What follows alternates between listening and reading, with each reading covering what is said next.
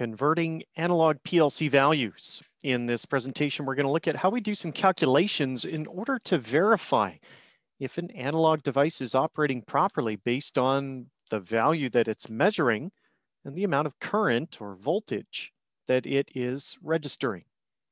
So first thing we need to do is have a basic idea as to what the different values are that we could be expecting and for most part, in PLCs and process control, the two most common forms of analog signal are either 4 to 20 milliamps or 0 to 10 volts DC.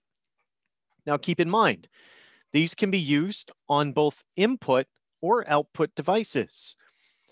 And we say this because sometimes you're actually controlling something or you are measuring something based on a process variable. So inputs or outputs.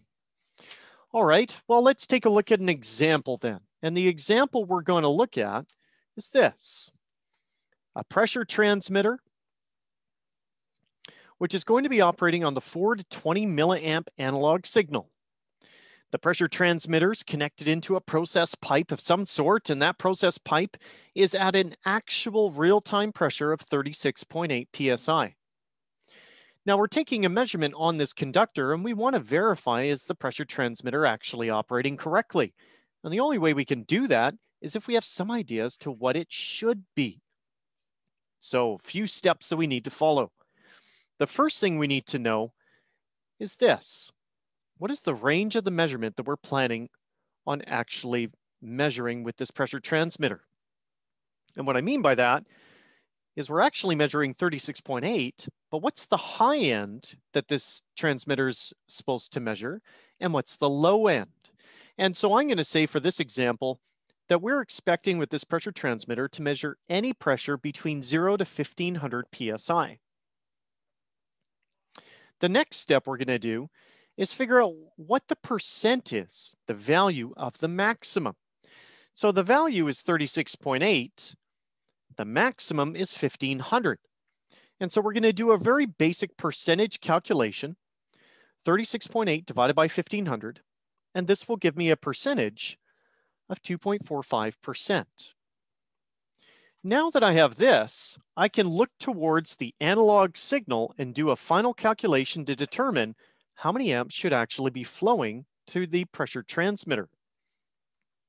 The third step uses, uses this calculation the high value minus the low times the percentage plus the low again at the end.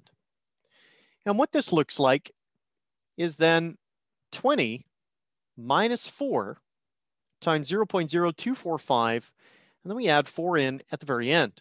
Now remember, there's a bunch of brackets in here, so if you simply plug your numbers in without taking into account the order of operation, you're going to come out with a number that's incorrect. What we get from this is 4.392 milliamps of analog current.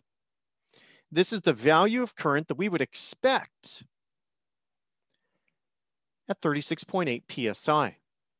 So this calculation can be used to validate or verify any amount of pressure that we happen to have on the transmitter for what the actual signal value should be. Well, let's take a look at a different application. This was using a pressure transmitter and we're assuming it's going to a PLC. So this signal here would actually be an input signal to my PLC. Let's take a look at a different type of scenario. This time we're gonna look at an output. And the output we're gonna look at is a butterfly valve. Now the butterfly valve is gonna operate on four to 20 milliamp analog value. Know, zoom out a bit. There we go. 4 to 20 milliamp analog value, and we're actually measuring 15.6 milliamps. Now, if we take a look at how this system will operate, it's actually going to derive energy to move the humongous valve in here through instrument air or air pressure. And this, the 15.6 milliamps, is going to be used from the PLC in order to tell this ball valve how far to open, or butterfly valve rather. Now, remember, we need to know what the range is that we're expecting.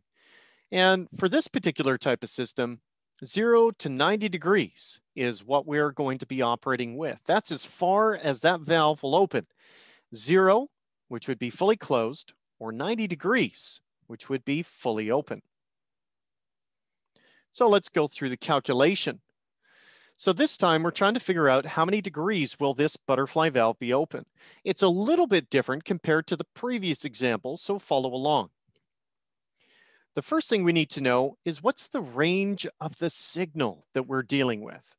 Now this where it gets a little bit tricky because 4 to 20 milliamps means that we really have 16 milliamps worth of range. We take 20 and subtract 4.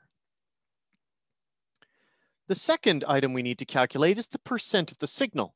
Now remember, our maximum is now only 16.